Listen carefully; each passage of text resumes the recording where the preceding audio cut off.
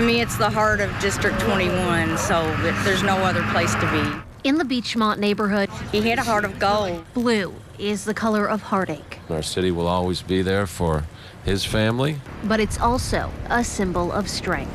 He inspired so many people to go out and do something great. This was fallen LMPD officer Nick Rodman's neighborhood. And I think Nick would be very happy to see this right here in front of a library that's right in the heart of Beechmont, where he and his sister Carly and his brother Andy all grew up together. This marble bench was the idea of Susie Keel. I mean, everyone just wants to do whatever they can to help the family honor Nick. Rodman was killed during a car chase last March. Keel never met him, but his story stuck with her.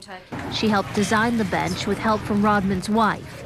It features images of Holy Cross, U of L, and an LMPD badge. Saturday, the bench was dedicated in front of Rodman's family, friends, and community members. To be able to have um, this type of monument in the neighborhood where Nick grew up, I just I know it means a lot to his family and it means a lot to the rest of us. It's a simple gesture that Keel and others hope shows the lasting impact of Rodman's life. Uh, the work he did here in our community to keep our citizens safe uh, so they could go about their lives uh, is legendary. His legacy will always live on, I think. Susie Keel also worked with Metro Council to get the funding for that bench. We are told a part of 29th Street will also be renamed after Officer Rodman.